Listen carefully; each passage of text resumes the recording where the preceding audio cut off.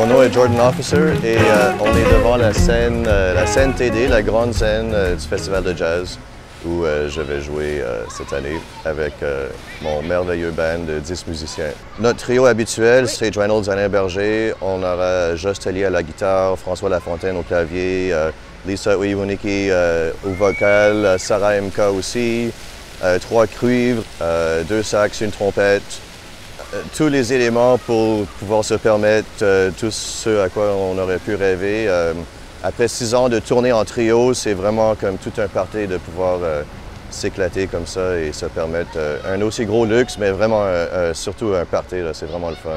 C'est une invitation du jazz qu'on ne pouvait pas refuser, c'est vraiment magnifique.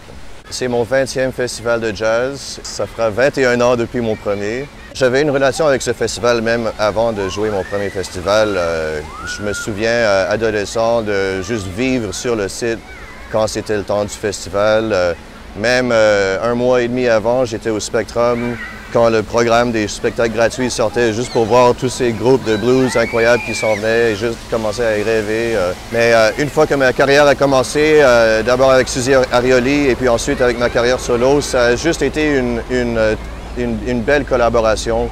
Ça a été un moment pour faire des événements spéciaux, pour monter des projets spéciaux, pour avoir des, invités, pour terminer une tournée, pour débuter une tournée. Donc c'était vraiment juste toujours, on a toujours vu le festival comme une occasion spéciale et on a toujours monté quelque chose de spécial pour l'occasion.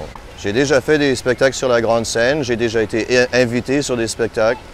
Euh, avec Suzy Arioli, on, on a fait un spectacle aussi à un moment donné sur la grande scène.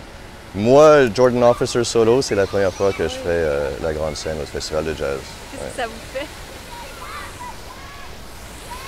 il, y a, un aspect que c'est intimidant. Pas tant la scène, qui n'est pas si énorme comme ce que ça, mais, mais le contexte, c'est grandiose. Mm-hmm. Et euh, quand il fait beau, c'est des gens à, à, vue, à perte de vue, c'est ça. Donc, euh, de penser que c'est nous qui allons faire triper ce monde-là pendant une heure et demie un vendredi soir, c'est euh, comme c'est un honneur d'avoir ce rôle pour autant de gens. Donc, c'est surtout vraiment excitant comme, comme défi. Je finis une semaine de répète, c'est tellement un pur plaisir et c'est excitant. Puis il y a des moments, il y a des surprises, il y a, il y a aussi une belle dynamique, il y a beaucoup de choses explosives dans le spectacle.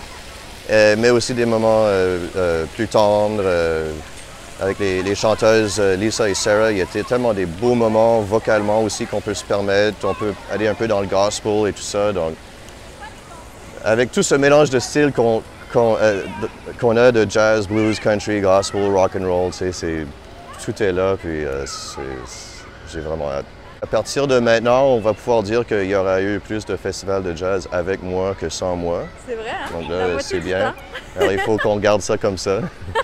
Et oui, j'ai hâte à l'année prochaine. Mais en fait, j'ai toujours, à chaque année, j'ai hâte parce que je sais toujours qu'on va, on va penser à quelque chose de fun.